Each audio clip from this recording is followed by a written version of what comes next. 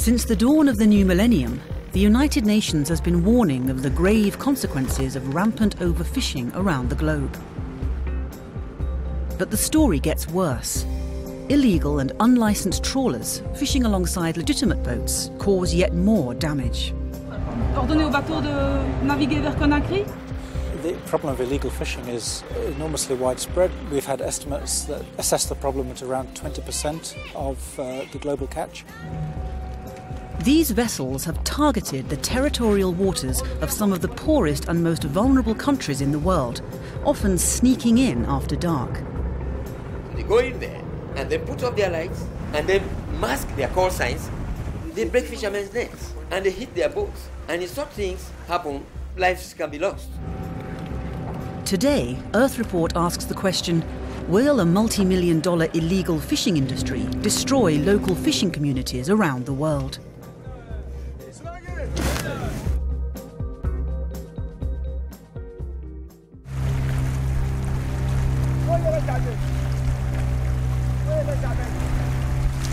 The Atlantic Ocean off the coast of West Africa. It's one of the most fertile fishing grounds in the world. For thousands of years, it's supported small coastal communities. But as the world's appetite for fish has grown larger, these seas have attracted fishing vessels from everywhere.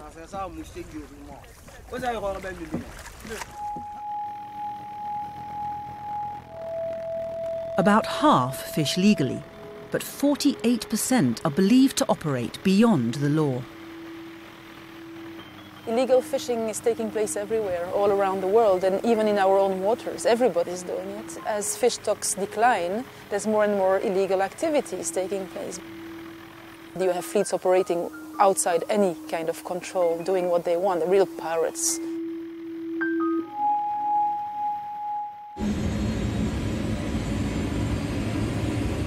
Both Greenpeace and the Environmental Justice Foundation have tracked vessels fishing off the coast of some of the poorest countries in Africa.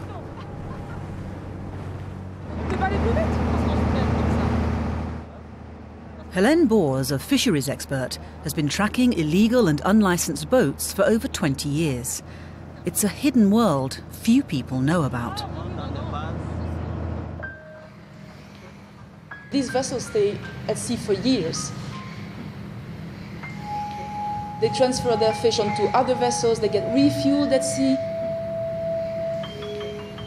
The crews are changed at sea, etc. So nobody sees what's happening. There's nobody, nobody to go there and tell them to respect the rules.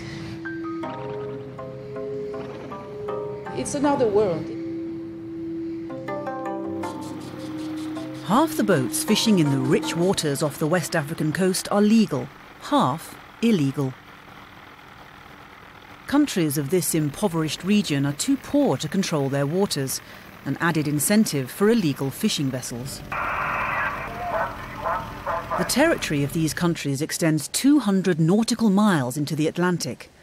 Foreign vessels must have a license to fish. There's also a 12 mile zone which is reserved almost exclusively for local fishermen.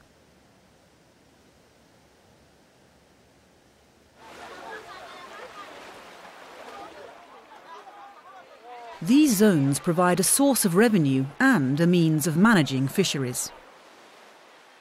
But unless these coastal waters are patrolled, foreign vessels can fish them illegally, without valid licenses and with impunity.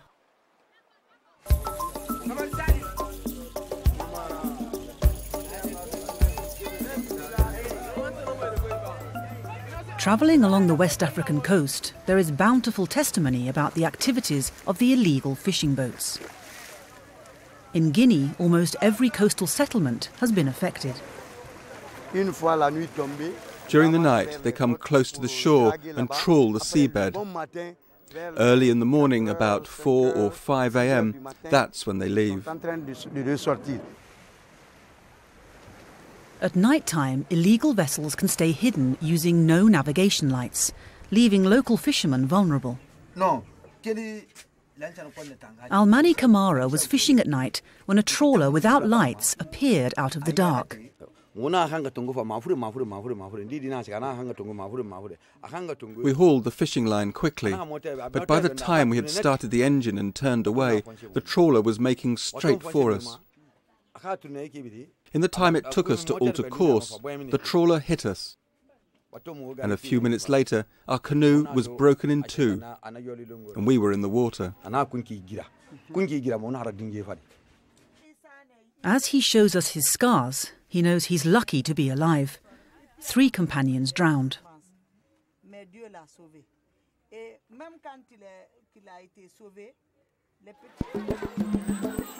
Moving up the West African coast, members of the Sierra Leonean fishing communities echoed the tales.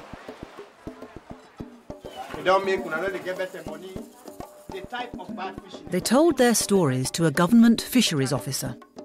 He's the master fisherman uh, here at Tombo. He's basically representing the fishermen. So then the inner might. So the trawler, why they talk so far, we left four uh, Europe here. Amadou Seaport Kamara told us foreign boats were a constant threat. There had been an incident where the trawler actually rolled over the boat. All the fishermen were thrown uh, overboard. They went into the sea and then they, they, they, they swim to escape to, to secure their lives. Sometimes there are even accidents where trawlers have inflicted some wounds into fishermen. They have, they have this, this kind of case is rampant not only in Tombo but all around the other fishing villages. It's hard to quantify the impact of illegal fishing on local communities, but anecdotal evidence suggests it's been hitting them hard.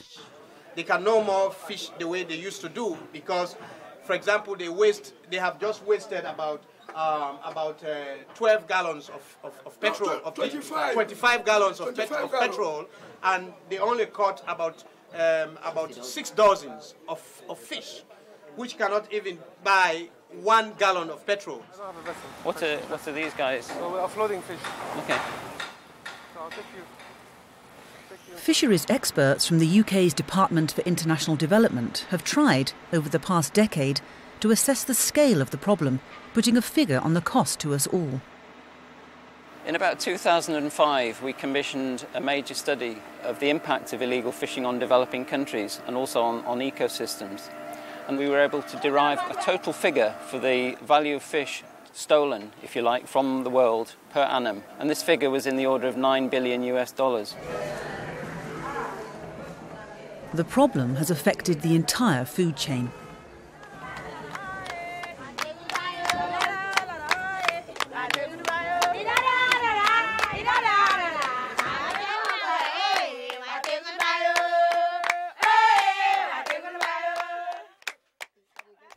Smoking fish to preserve them was once a much bigger industry.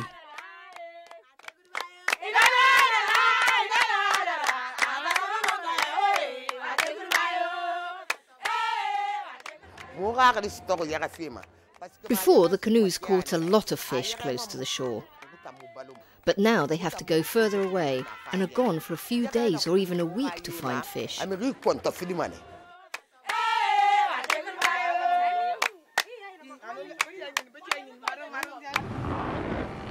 West African nations have no money to patrol their waters constantly.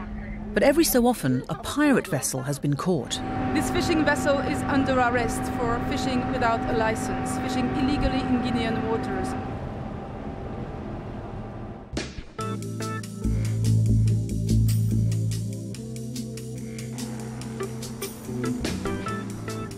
The coast of West Africa is just one region where illegal fishing has flourished.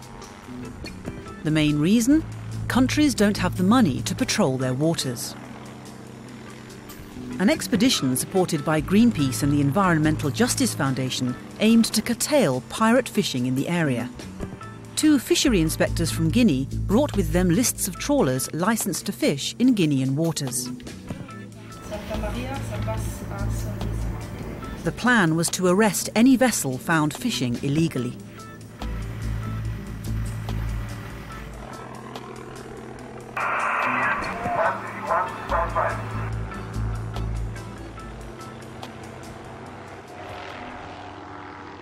Looking for pirate vessels in West Africa is not difficult at all, unfortunately, because there are so many of them. You come across them as soon as you enter the, uh, the waters of those countries, and the closer you get to the coast, the more of these vessels you come across. It was one vessel after another. From the air, a group of Chinese trawlers was spotted. One of them was the Lian Run 14. It was just some 60 nautical miles off the Guinean coast, 140 miles inside Guinean territorial waters. The inspectors, therefore, had jurisdiction to check all the boats against their list of vessels licensed to fish. It's not just the stealing of fish that causes concern. Trawlers fishing contrary to regulations can do great harm to the marine environment. Many of the illegal vessels use huge weighted nets with an illegally fine mesh. These are scraped along the seabed, hoovering up everything in their path. It catches very uh, large amount of juvenile fishes.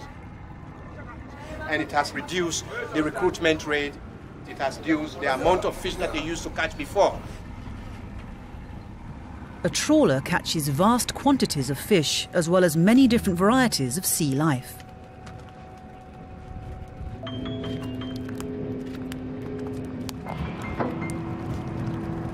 Crew members pick through it, selecting only the fish they can easily sell.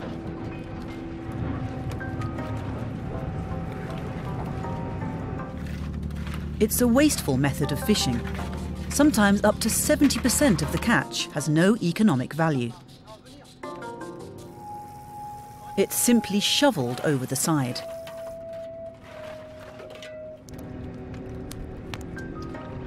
Some of the fish are still alive, but after battering, they are unlikely to live to maturity.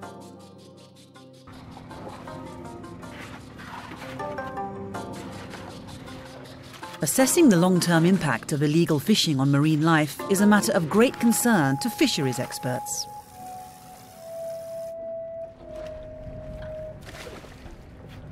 Scientific assessments that are carried out are done on the basis of what we know about reported catches. If there is a large proportion of unreported or illegal catch, then that means that the scientists' assessments are necessarily going to be out possibly by orders of magnitude, which makes it very, very difficult indeed for, to manage uh, the fish stocks effectively. The evidence from places like the UN Food and Agriculture Organization, which publishes reports uh, every two years on the state of world fish stocks, is that illegal fishing in general has a devastating impact on fisheries resources. In the coastal states of Africa, this is troubling to officials. Fish is very important for Sierra Leoneans. Let us look at the artisanal fishermen because these are the small scale fishermen and they supply most of the fish that the Sierra Leoneans eat. So in any case, anything that stops them, this stops the Sierra Leoneans from getting the required protein because they are providing 75% of the protein intake. So there is where there is serious problem.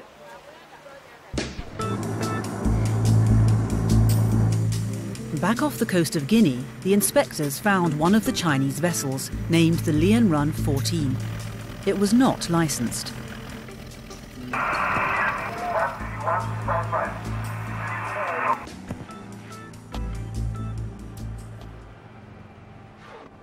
When they agree that we come on board, they're quite friendly actually and curious because, I mean, put yourself in their place, they in the middle of you know nowhere of Africa they there for a long time fishing, day night, day off, you know, just all the time. And suddenly there's this big blue ship arriving, full of, you know, Westerners, most of them, you know, white people, uh, women, which they may not have seen for a while.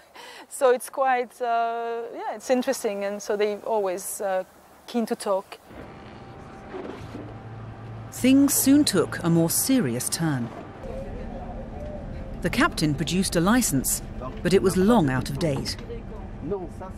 When the captain produced the license, dated 2003, to the Guinean inspector, you could see that he understood he was in big trouble.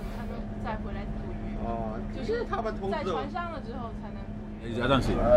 He is not on the list. Tell him it is very good for him now to to do whatever we want now. If not, we are going to stay here and to call back. People will come. The, the ship will come and we will arrest him. We will take him in our ship. We will, we will carry him, and the ship will follow us.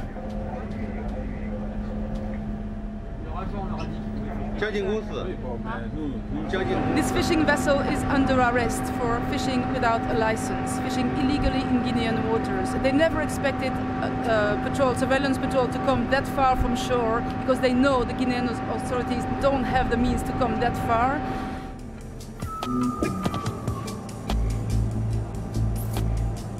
In the course of the month-long trip conducted by Greenpeace and the Environmental Justice Foundation, 92 foreign boats were seen fishing in Guinean waters.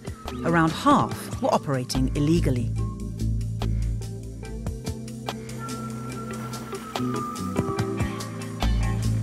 In a similar surveillance operation in neighbouring Sierra Leonean waters several years ago, the last time such a survey was conducted, the UN's Food and Agricultural Organization found that only just over 50% of the vessels were operating legally. Today, the precise figures of which vessels are fishing legally and which are fishing illegally remains unknown. But officials worry that illegal fishing fleets dwarf most national fleets. China is the largest fisher in the world. Uh, legal fishing would come second. So we're speaking of those dimensions. And the fishing carried out legally by countries like the European Union, very large fishing countries like, like Chile and like Peru would rank after illegal fishing. So we're speaking of a very, very big problem. In 2005, there were 1,200 large-scale fishing vessels registered in the 14 largest flag of convenience countries. A detailed search discovered that there's about a thousand vessels that we don't know where they are, we don't know where they're fishing, that are not authorized to fish. That means they must be fishing illegally. And not only are officials in the dark, some observers suggest this illegality is hidden even from many of the trawlermen on the boats. When you board the vessel, you see the, the, human beings behind pirate fishing, and most of the crew don't even know what they're doing is illegal. They don't know. I mean, they've just been told to go to that ship uh, for such a period of time, two, three years. So they don't know what they're doing is wrong. Uh, the captain certainly should know. The day after the arrest, the Lian Run 14 was escorted to the port of Conakry, where the ship and its cargo were impounded. The crew was kept on board, which happens in many cases. They're not put in jail, but being held on board their own vessel is the same as being put in jail, really. The crew is never really sure whether their company is going to pay the fine or not, and whether they will be released or not, or when they'll be released. So it can be a long time. The Guinean authorities reported the Lian Run 14's owners were fined and the fish confiscated before the vessel was released. If you can read me from Channel 16, this is Naval Patrol Boat. But this is not always the case. UK advisers in the region say it is not unusual in other instances for ships to be released with only a warning after a bribe. You've got the issue of enforcing the licenses, enforcing fines, all the sort of bureaucratic process, which, to be quite candid, in a, in a third world country that is you know, developing very, very slowly. It's very near the bottom of the index. It is a real big deal getting all this to work and making sure that the revenue comes in and ends up in the Ministry of Finance as opposed to elsewhere within this country. The real price of pirate fishing is being paid by local communities. Local fishermen complain about those trawlers coming inshore very, very close to where they fish and causing accidents and death every year. Uh, so it's stealing the fish, killing people, and uh, endangering the marine environment and, and uh, the fish stocks uh, all over the world. In the region of Sierra Leone, Liberia, and Guinea, we've estimated that the value of the fish is something like $150 million a year uh, being stolen by foreign vessels. And if we think about these, the high value fish, these are the ones, of course, that could have major impact on the economies here, which are very poor. So we're very concerned about that. West Africa is close to the booming European fish market. Fish could be an important export earner. But instead, much of this income is going to illegal fishing fleets. Developing countries, and particularly those in West Africa and the Pacific, for example, uh, that depend very largely on fish stocks as a source of income, really have no alternative source of income. In Programme 2, how the pirates smuggle fish into Europe. And life on an extraordinary fleet of support ships.